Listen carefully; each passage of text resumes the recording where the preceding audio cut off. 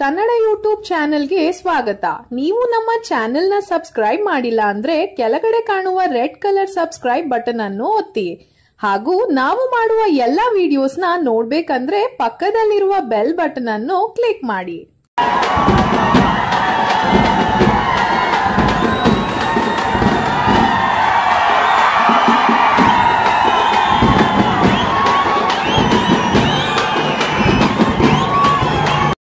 ಮಫ್ತಿ ಚಿತ್ರದ ಮೊದಲ ದಿನದ ಕಲೆಕ್ಷನ್ ಎಷ್ಟು ಅಂತ ನಾವು ಹೇಳ್ತೀವಿ.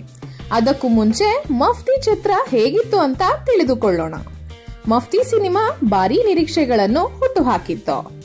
ಕಾರಣ ಕರುನಾಡ ಚಕ್ರವರ್ತಿ ಶಿವರಾಜ್ ಕುಮಾರ್ ಹಾಗೂ ರೋರಿಂಗ್ ಸ್ಟಾರ್ ಶ್ರೀ ಮುರುಳಿಯ ಮಲ್ಟಿ ಸ್ಟಾರರ್ ಮೂವಿ ಇದಾಗಿದೆ.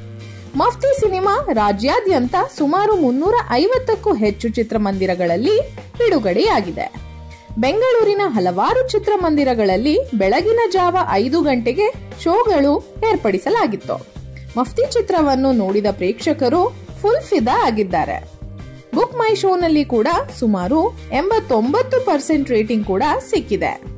ಮಫ್ತಿ ಪೊಲೀಸ್ ಅಧಿಕಾರಿ ಪಾತ್ರದಲ್ಲಿ ಶ್ರೀ ಮುರುಳಿ ಅಭಿನಯಿಸಿದ್ದು ಪಾತ್ರಕ್ಕಾಗಿ ಸಾಕಷ್ಟು ತಯಾರಿಗಳನ್ನು ಮಾಡಿಕೊಂಡಿದ್ದಾರೆ.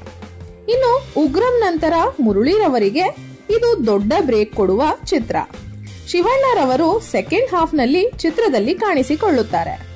ಶಿವಣ್ಣರವರ ಪಾತ್ರ ಭೈರತಿ ರಣಗಲ್. ಈ ಪಾತ್ರವನ್ನು ಶಿವಣ್ಣರವರು ಅದ್ಭುತವಾಗಿ ನಿಭಾಯಿಸಿದ್ದಾರೆ. ಈ ಚಿತ್ರದಲ್ಲಿ ಶಾನ್ವಿ ಶ್ರೀವಾಸ್ತವ ಮತ್ತು ಛಾಯಾ ಸಿಂಗ್ ನಾಯಕಿಯರಾಗಿ ನಟಿಸಿದ್ದಾರೆ.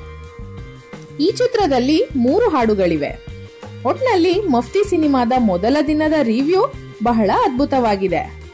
ಮಫ್ತಿ ಮೊದಲ ದಿನದ ಕಲೆಕ್ಷನ್ ಎಷ್ಟು ಅಂದ್ರೆ ಸುಮಾರು ಆರೂವರೆ ಕೋಟಿ ರೂಪಾಯಿ.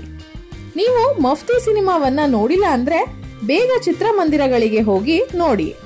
ನೀವು ಮಫ್ತಿ ಸಿನಿಮಾವನ್ನ ಶಿವಣ್ಣಗೋಸ್ಕರ ನೋಡ್ತೀರಾ ಅಥವಾ ಮುರಳೀರವ್ರಿಗೋಸ್ಕರ ನೋಡ್ತೀರಾ ಅಂತ ಕಮೆಂಟ್ ಮಾಡಿ ತಿಳಿಸಿ. ಹಾಗೆ ವಿಡಿಯೋನ ಲೈಕ್ ಮಾಡಿ. ಧನ್ಯವಾದಗಳು.